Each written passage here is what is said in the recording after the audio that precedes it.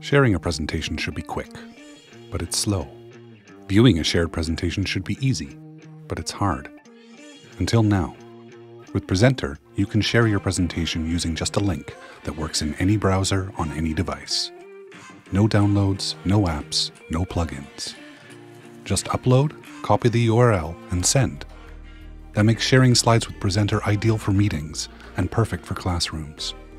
Best of all, your shared presentation will always look great because slides dynamically adapt to any screen, big or small, tall or flat. No more pinching to see small text. When you open a shared presentation, the slides are shown at the top. You can navigate through them using the arrow buttons or tapping the thumbnail on your phone. At the bottom of the screen, you can see the presentation in handout format. Simply scroll through it to view the whole presentation like a document.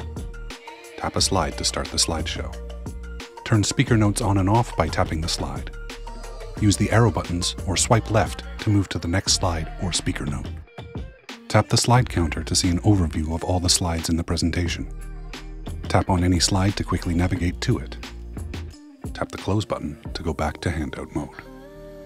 Sharing and viewing presentations used to be difficult. With Presenter, it's as easy as sending a text.